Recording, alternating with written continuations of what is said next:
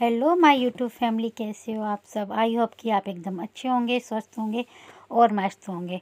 तो फ्रेंड सबसे पहले आप सबको हैप्पी संक्रांत।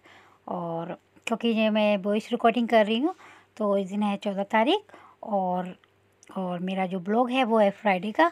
और संक्रांत दो दिन की पड़ी है, चौदह तारीख की और पंद्रह तारीख की। वैसे ही है किसी ने चौदह को बनाई है, किसी ने पंद्रह को तो वैसे ही है। और फ्रेंड यहाँ पे मैं करने लगी हूँ सुबह की काम। और जो होते हैं हमारे साफ़ सफ़ाई तो मैंने बस ये बीच वाले रूम की बेड शीट वगैरह है जो सही कर दी है। सुबह सुबह सो के उठते हैं जब हमारे चादर वगैरह चादर वगैरह थोड़े बिगड़े होते हैं, बस उनको सही कर दिया है। और यहाँ पे ये सामान इधर उधर फैला हुआ है तो बस मैं इनको भी थोड़ा सही से रख रही हूँ। और उसके बाद फ्रेंड ये मैंने सोचा चलो ये पन्नियों को थोड़ा पोछ देते हैं फ्लोर वगैरह पे थोड़ी बहुत मिट्टी आ जाती है, क्योंकि मिट्टी की तो ऐसी बात है कि बगल में काम चल रहा है, हमारा भी काम चला था, अभी रुक गया है थोड़ा। क्योंकि ना बगल में हमारे देवर का मकान टूट रहा है तो हमने सोचा पहले इनका टूट जाने दो, उसके बाद ही बनाएँगे, क्योंकि अच्छा लगता पहले बना दो, फिर उनका टूटे तो दिक्कत सी होती है, इसलिए हमने थोड़ा अपना काम रोक दिया था। हमने कि पहले इनका टूट ही जाने दो, इनका बनने दो, फिर उसके बाद ही स्टार्ट करेंगे। हम बस यहाँ पे तो मैं करने लगी हूँ थोड़ी सी साफ़ सफ़ाई, यहाँ पे मिट्टी वगैरह हो गई थी पॉलीथीन पे मन की संक्रांत आ रही है, कोई आता करता है, ननद वगैरह तो थोड़ी साफ़ सफ़ाई भी होनी ज़रूरी है तो बस मैं यहाँ पे करने लगी हूँ थोड़ी बहुत। बस सामने सामने की सफ़ाई करिए ऐसे ज़्यादा नहीं करिए सारी चीज़ों को उठा के सब वारी वगैरह ऐसे नहीं। बस ये थोड़ा बहुत फ्लावर वगैरह ऐसी सामने सामने की थोड़ी बहुत सफ़ाई कर लिए क्योंकि और सर्दी का टाइम है सुबह सुबह जितना झाड़ू लगाते भाई कर लो तो कर लो, और फिर अपन सोचो कि खाना वाना बनाने के बाद सफ़ाई वगैरह करो तो बिल्कुल भी नहीं हो पाती है। क्योंकि खाना वगैरह खाने के बाद दिन छोटे छोटे होते हैं, सारा काम टाइम ऐसे ही निकल जाता है, बिल्कुल भी पता नहीं चलता। तो बस यही है कि सुबह के टाइम में जितना हो जाए, उतना ही सही है, बस थोड़ी बहुत कर लेते हैं चलते फिरते में।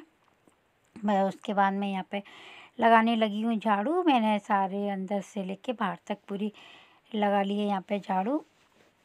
और आप लोग बताइए, आप लोग कैसे हैं? और बस अब मैं यहाँ पे कर लूँगी पूरे कमरों की साफ़ सफ़ाई और हाँ एक बात और। संक्रांति क्या दो दिन की पड़ रही है, चौदह और पंद्रह तारीख को। और हमने तो देखो दोनों ही दिन बनाई थी। चौदह को भी बना ली थी और पंद्रह को ही बना ली थी। ऐसा किया था। चौदह तारीख को तो हमने खाना पीना कर लिया था और पंद्रह तारीख को हमने दान पुण्य जो भी होता है, वो सब कर लिया था। और फ्रेंड, उसके बाद में आ गई हुई मैं अपने अंदर वाले रूम में। तो आज है दिन शुक्रवार तो मैं बस बेडशीट वगैरह चेंज कर रही थी। मैंने चलो बेडशीट वगैरह चेंज कर लेती हूँ। और ये थोड़ी मिट्टी वगैरह बेड पर आ जाती है, बस हम उसको भी थोड़ा अभी इसी समय में आज थोड़ी साफ़ सफ़ाई भी कर रही हूँ, सच बताऊँ तो क्योंकि कल संक्रांत है तो नंद वगैरह आती हैं कोई भी तो ये थोड़ी बहुत थोड़ी बहुत सफ़ाई कर दो, वैसे तो कुछ नहीं और काम भी चल रहा है तो हल्की फुल्की सी बस ऐसे ही कर रही हूँ सामने सामने की बस यहाँ पे मैं बेड शीट वगैरह चेंज कर लूँगी, और बस मैं यहाँ पे बस जल्दी जल्दी अपने काम में लगी रह, कर रही हूँ, क्योंकि ना शुक्रवार है, मुझे पूजा वगैरह भी करनी है, और अब मेला भी भर गया है। देखो आ, कभी प्लान बनाते हैं जाएँगे और बस ये ये बोलूँगी अपनी नंद वगैरह किसी के साथ ही जाऊँगी। मैं अकेली तो क्या किसके साथ जाती और कौन जाता है किसी के साथ ही जाएँगे। अकेले तो मेला घूमने में अच्छा भी नहीं लगता है।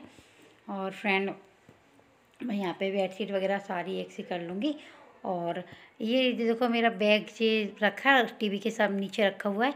इसमें सारे सामान वगैरह रखे हैं। मेरे हस्बैंड के जो पूजा पाठ में कपड़े वगैरह मिलते हैं, वो सब चीज़ें रखी हुई है। और बस मेरा मौका नहीं मिल पा रहा है तो इसे मैं बेड में रख दूँ। बेड में भी कहाँ रखूँ? पूरे हर जगह इतनी फुल हो रखी है कि सामान रखने की भी जगह नहीं है। इतना सामान कहाँ रखो? जी, जो मेरा बेड है, वो भी पूरा फुल भरा हुआ है। इसमें रजाई, गद्दे और जी, सारे कपड़े, लत्ते, पूरा ये भी हाउस फुल है पूरा। और मेरा जो लोहे का बकस है, वो भी फुल हो रहा है। और अलवारी की तो पूछो ही मत थी अलवारी तो पहले से ही मेरे कपड़े और सबके कपड़े हस्बैंड बच्चों के, उसमें भी बिल्कुल भी जगह नहीं रहती कि कोई भी चीज़ उसमें रख दो। बस एक दिन टाइम मिलेगा तो ये लोहे वाला जो मेरा बकस है ना उसी में जगह करके मैं ये थैले, मेरा पूरा जो थैला है वो पूरा भरा रखा हुआ है। उसके बाद ये है मेरा आगे वाला रूम, इसको भी मैंने अच्छी तरीके से सेट कर दिया है। और फ्रेंड, जो मेरा बेड, जो बीच वाले रूम में डला हुआ था, वो यहाँ पे मेरे हस्बैंड ने बाहर वाले रूम में डाल दिया। उन्होंने बोले कि वो जो, और यहाँ का जो बेड था वो बीच में डाल दिया है। क्योंकि यहाँ पे जो था वो वो होता नहीं है, पलंग जो खटिया टाइप के होते हैं, वो यहाँ पे डला हुआ था। तो मेरे हस्बैंड बोले, नहीं अच्छा नहीं लगता, वो आगे वाले रूम में वो वाला डला हुआ है, कोई आता करता है तो उसी में बैठता है मतलब जेंट्स वगैरह कोई आते हैं तो वो बाहर वाले रूम में बैठते हैं, अंदर तो लेडीज़ वगैरह या अपना ही कोई आता है, वही अंदर आते हैं, जो बाहर के लोग होते हैं, वो थोड़ा भारी बैठते हैं तो उन्होंने वाला बेड वहाँ पे कर दिया और यहाँ पे बीच वाले रूम में ये वाला डाल दिया है, पर अभी उन्होंने बिछा दिया कोई बात नहीं है, अभी कुछ दिन तक बिछा रहेगा फिर मैं वाला बेड अंदर ले आऊँगी, क्योंकि मुझे ये वाला, ये वाली जो वाला पलंग है ना, जो जो अपन छत वगैरह पे डाल देते हैं। वो वाला पलंग हमारे घर पर दो तीन एक छत पर डाला हुआ है, एक यहाँ डाला हुआ है। तो वो मुझे जमता नहीं है, मुझे बिल्कुल भी सही नहीं लगता। बीच वाले रूम में बिल्कुल अच्छा नहीं लगता। तो भाई ठीक है, उन्होंने कहा है तो उसमें डाल दिया मैं कुछ दिन बाद फिर उसे अंदर ले आऊँगी ले आऊँगी। उसके बाद फ्रेंड मैं यहाँ, मैंने यहाँ पे पूजा के सारे बर्तनों को साफ़ कर लिया है और यहाँ पे करने लगी हूँ पूजा। तो बस यहाँ पे मैं सारी जोत ने सारे भगवान को नहला दिया है और किसी और सबके चंदन, रोरी, हल्दी जिनको जो लगाया जाता है, वो मैंने सब लगा लिए सब पे फूल चढ़ा दिए मैंने हस्बैंड से फूल मंगा लिए थे, क्योंकि घर पे तो लगे हुए नहीं हैं और गली वगैरह में भी ऐसे कहीं पे मिलते नहीं हैं। तो मैं शुक्रवार को मंगा लेती हूँ क्योंकि मैं पूजा करती हूँ तो मुझे फूल वगैरह मन भगवान पे चढ़ जाते हैं ना तो अलग ही अच्छा लगने लगता है। आ, मन एकदम प्रशंसा हो जाता है फूल वगैरह अगर अपन चढ़ा दो अच्छे से पूजा करो तो। तो बस वो शुक्रवार शुक्रवार को मतलब मेरा व्रत रहता है उस दिन वो फूल वगैरह ले आते हैं। तो यहाँ पे मैंने अपनी कर लिए पहले डेली की पूजा, उसके बाद यहाँ पे मैं पढ़ूँगी थोड़ी देर कथा, संतोषी माता की कथा, बस यहाँ पे मैं कथा पढ़ने लगी हूँ।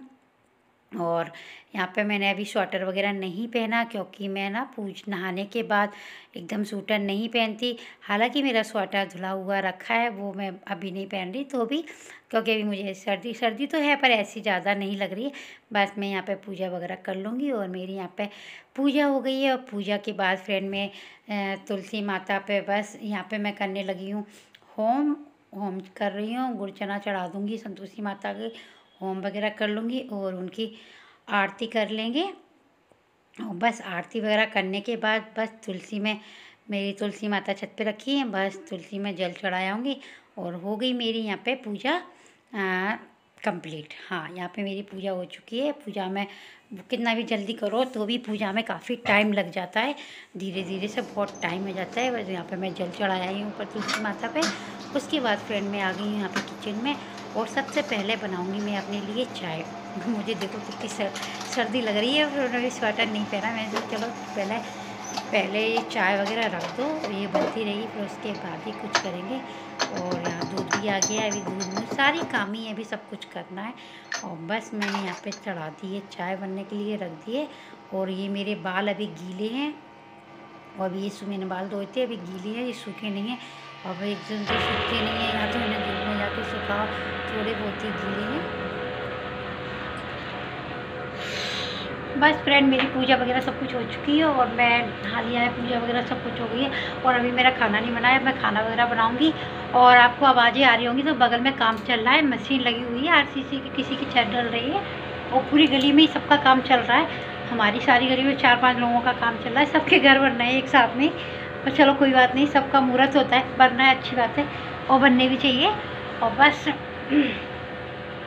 पूजा हो गई आज मेरा फास्ट है शुक्रवार का और पूजा वगैरह सब कुछ हो चुकी है। बस मैं आ, खाना वगैरह बनाऊँगी देखो। खाना बनाती हूँ पहले तो मैं चाय पीऊँगी और चाय पीने के बाद ही खाना वगैरह बनाती हूँ तो फिर तो फ्रेंड फिर मिलते हैं थोड़ी देर बाद। और जब तक मेरी चाय बनी जब तक मैंने यहाँ पे आटा ही मार के रख दिया और यहाँ जूस गर्म हो रहा है। और यहाँ चाय भी, अब मैं पे, अब मैं बैठ के पीऊँगी आराम से चाय और दूध गर्म हो रहा है जब तक। और फिर चाय वगैरह पीने के बाद खाना। और चाय वगैरह पीने के बाद फ्रेंड मेरे बेटे ने बोला, मम्मी, आप ना मेरे लिए सोयाबीन की सब्ज़ी बना दो। तो बस मैं उसके लिए बनाने लगी हूँ सोयाबीन की सब्ज़ी और बस मैंने यहाँ पे आटा मार के मेरी रोटियाँ भी बना के रख दी है। मैंने पहले रोटियाँ बनाई थी, उसके बाद मैंने उसके लिए यहाँ पे सब्ज़ी छोक दिए तो बस इसमें लिया है ऑयल और सादा सब्ज़ी बन रही है, ज़्यादा कुछ नहीं। बस मैंने इसमें लिया है ऑयल उसमें डाल दिया जीरा, हरी मिर्च। फिर ये मैंने तेल में थोड़ी देर इनको मैं भूज लूँगी, सोयाबीन को। और सोयाबीन को इस तरह थोड़ा भूंज लो ना तो ये थोड़ी अच्छी क्रिस्पी सी हो जाती है, सही लगती है। उसके बाद थोड़ा सा मैंने इसमें और ऑयल डाल दिया तो यहाँ पे मैं डाल दूँगी ये मसाले।